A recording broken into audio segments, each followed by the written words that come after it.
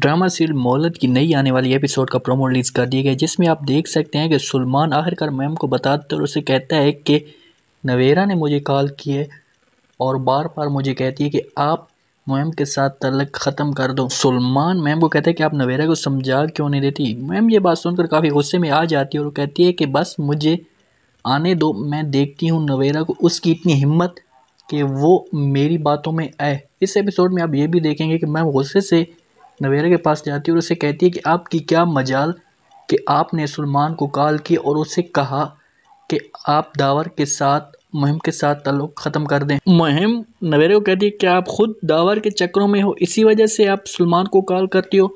नवेरा यह बात सुनकर काफ़ी परेशान हो जाती है और उससे कहती है, खुदा के लिए मुझ के ऊपर ऐसे इल्ज़ाम ना लगाएँ। मैंने इस किस्म की कोई भी बात नहीं कि मैंने कहा सिर्फ़ और सिर्फ़ आपके और दावर के बीच में आने के लिए सलमान को रोका। मुहिम और नवेरा आपस में इस तरह की बातें कर रहे होते तो वहाँ पर मुहिम की माँ भी आ जाती है। मुहिम सारी उससे बातें बता देती है तो वो भी गुस्से से नवेरा को कहती है कि आप बीच में इस तरह की टांग ना अड़ाया करें। सब आप आगे आने वाली एपिसोड में देखेंगे। दोस्तों, आपको क्या लगता है कि नवेरा अपनी माँ की बात मान पाएगी? कमेंट्स में अपनी राय लास्ट में दें। शुक्रिया।